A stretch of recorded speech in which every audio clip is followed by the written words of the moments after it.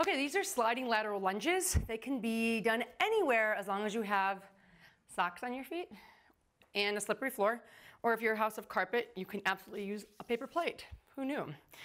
Uh, what I want to do is first of all ask you to be very uh, thoughtful in your range of motion. What I tend to see is people drive their leg out way too far past where they can create stability and they get stuck down there or they get injured or they fall backwards and they laugh about it. So with these lateral lunges, I want you to kind of slide out to a very controllable space. My toes are both pointing forward, my hip is loaded, my hamstring's loaded. I'm here and then I drive up and forward. Drive out, maybe a little further, sorry, further. And this is what it's gonna kind of look like. And the key is, even though you're gonna feel that outside leg working, the star of the show is the one that is stable and not sliding. You're loading the hip. I do not mind if you drop your chest a little bit and you come to center every time, always just resetting at the top.